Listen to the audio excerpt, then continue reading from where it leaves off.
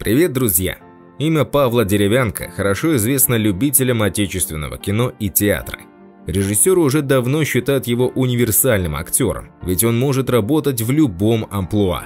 Он может легко сыграть любого героя, изобразить драматический или комедийный типаж. А такие актеры были востребованы во все времена. Но перед тем, как мы начнем, подписывайтесь на наш канал, поставьте лайк и запустите видео в соцсетях. А далее мы расскажем, как живет Павел Деревянко и сколько он зарабатывает.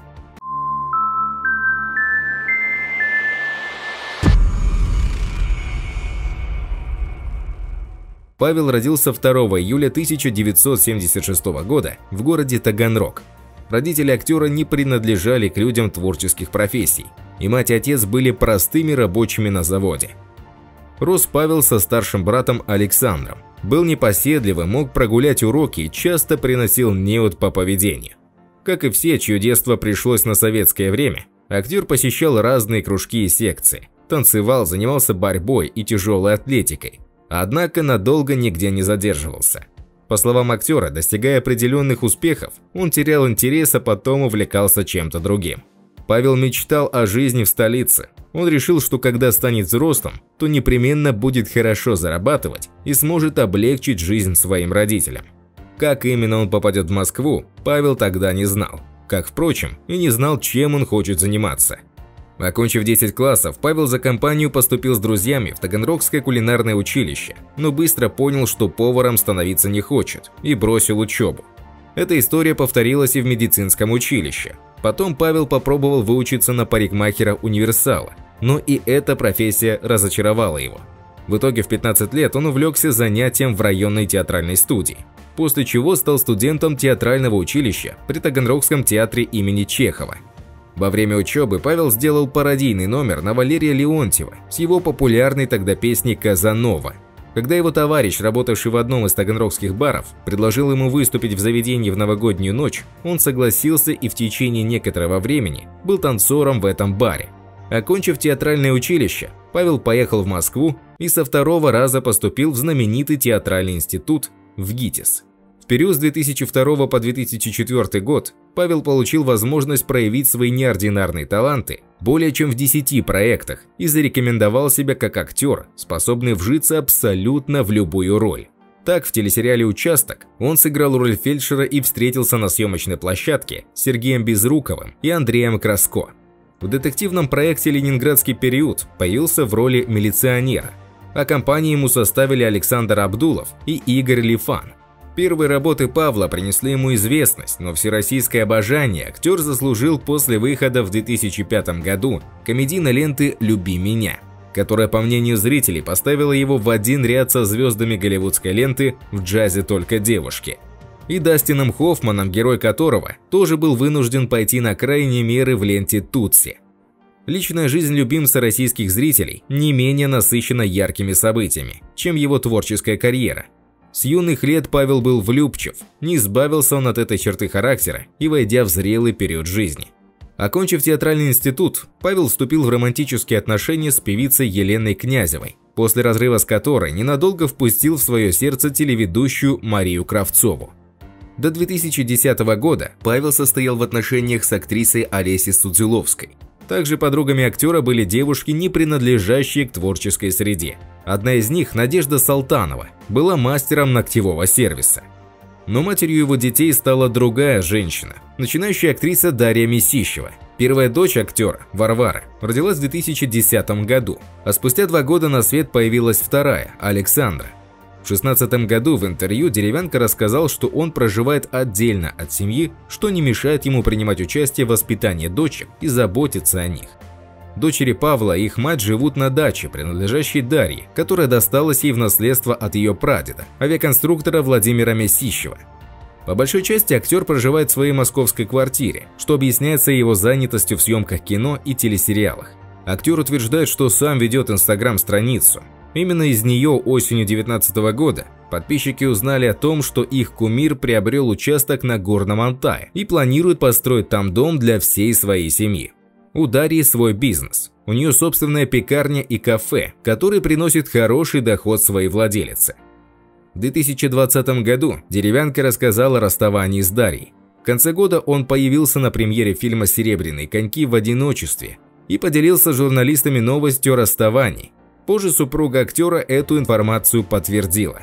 Вторую волну популярности Павел Деревянко получил, снявшись в комедийном многосерийном фильме от Семена Слепакова «Домашний арест», вышедший на экраны летом 2018 года.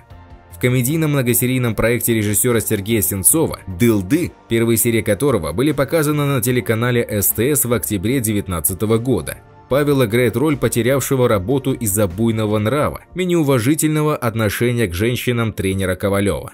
Партнершами актера, играющие роль спортсменок, стали Дарья Урсуляк, Анна Невская и Ангелина Поплавская. На сегодняшний день в фильмографии Павла Деревянко можно насчитать около 70 киноработ, которые постоянно пополняются. Со Светланой Ходченковой, Михаилом Ефремовым и ставшим в 2019 году президентом Украины Владимиром Зеленским Павел сотрудничал в комедийной картине 2012 года «Ржевский против Наполеона». В роли самого себя в фильме появился Жан-Клод Ван Дам, а по-русски голливудский идол произнес всего одно слово – «Кошмар». Как и Гитлер Капут, проект был встречен в штыки.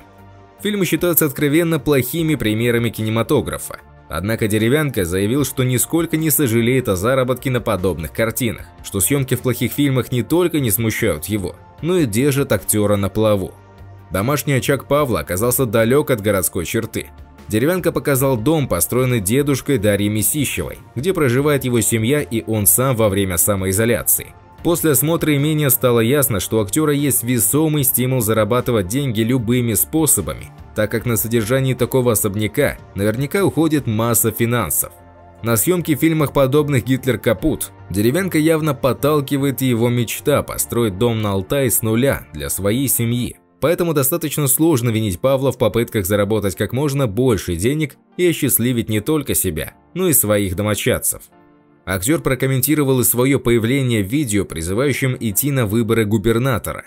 Павел Деревянко рассказал, что в ролике про губернатора Остапенко он снялся ради денег. Кроме того, в ролике он не призывает голосовать за конкретного кандидата.